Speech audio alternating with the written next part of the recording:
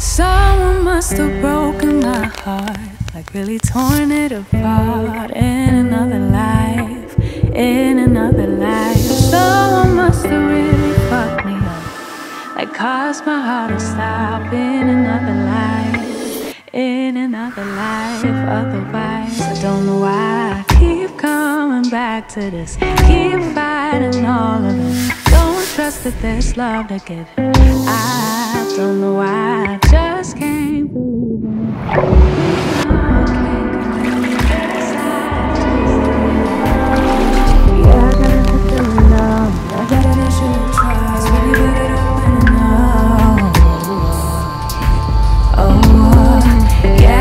issue with love. I got an issue with trust. Worried that it won't be enough.